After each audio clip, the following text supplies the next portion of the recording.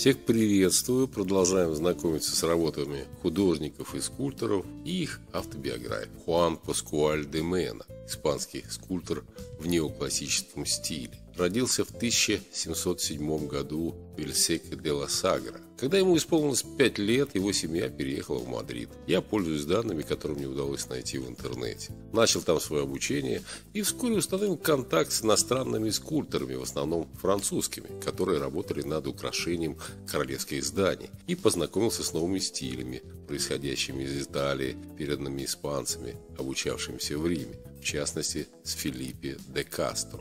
Однако неизвестно, у кого он учился.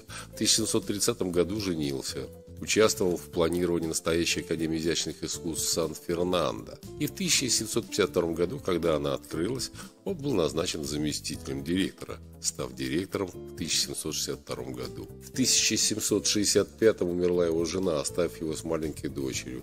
Три месяца спустя он женился на Хуалине Перес. В 1771 был назначен генеральным директором Академии. Был назван почетным академиком настоящей Академии изящных искусств Сан-Карлоса в 1768 году.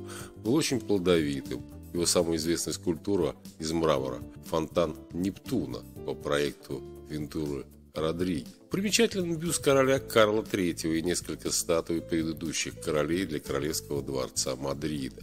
Кроме того, он представил множество религиозных деятелей, для таких учреждений, как церковь Сан-Херонимо или Реаль, церковь Сан-Маркос и церковь Сан-Мартин-Камерос. В качестве одной из своих последних работ он участвовал в украшении алтаря в соборе Толедо. Проект остался незаконченным после его смерти. Лепил, как говорили, из дерева. Многие из его работ были ошибочно приписаны его современнику Луису Сальвадору Кармон, Умер 16 апреля 1784 года в Мадриде.